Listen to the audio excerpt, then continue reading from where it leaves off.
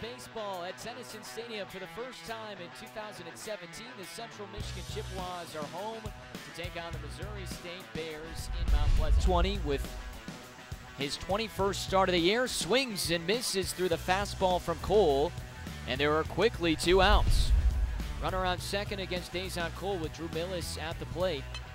Reaches on and sends it out to shallow left field. It'll drop in for a base hit in front of Rowland. Rounding third and coming home is Eierman. Here's the throw. The tag by Kratt. Out is the call at home plate. Rowland with a terrific throw. Evan Kratt applies the tag on the sliding Jeremy Eierman on his right thigh and now comes set belt high. From the first base side of the rubber in the stretch, the delivery. Swing and a miss. That's the second strikeout for Alex Jefferson. He did have one error back in that first inning. The first pitch on the ground to Hopper. That gets underneath the glove of Daniel Chipping into right field. Rounding third and coming in to score is Steinmetz, and it's 2 to nothing Missouri State. Over to third goes Burger. The drive in Burger at third. The 2 2 reaches and sends it down the third baseline, slowly rolling, and Frazier will have no throw. Burger comes in to score, and it's 3 to nothing Bears. Is issue two here in the fourth as there's a drag bunt down the first base side. Sullivan gets it at second, tries to throw to second. It pops off the helmet of Hunter Steinmetz, goes into shallow left field, and that'll bring around John Privatera to score. Dirt and grass of a field. They played in East Lansing on Tuesday as that pitch is lifted and drops in for a base hit over the shortstop Alex Borglin. Into score comes Landon Ruff with no throw. Over to third Swings and lines this out to left field. Backing up is Jefferson, and it's over his head as it bounces off the wall. First off the warning track. Rollin rounding third. He's headed for home, and sliding in safely is Ty Rollin. It's an RBI double by the leadoff senior Alex Borglin. The game that started just past 12 o'clock.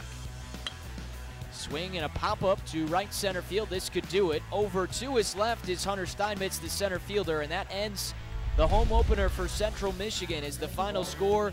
Missouri State 12, Central Michigan 1.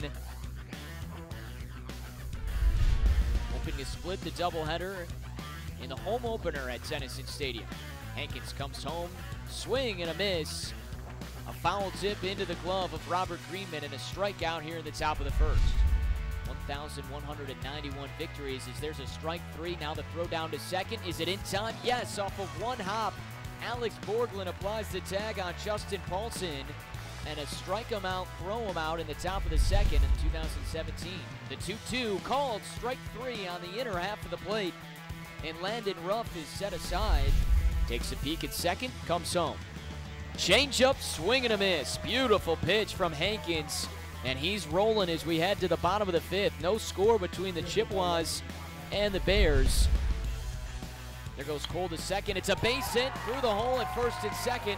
An RBI single, and Central Michigan is taking the lead on a Hickey two-out clutch swing that scores Evan Kratt. Bears, one more game to be played. Here's a ground ball that's back up the middle. Coming in is Cole. He's got a long run. Around third is Burger. The throw won't be made by Cole. And just like that, a double and a single in the stretch. The 2-1.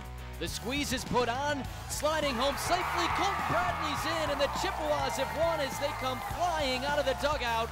Central Michigan in the bottom of the ninth takes down Missouri State 2 to 1 on a Robert Greenman squeeze.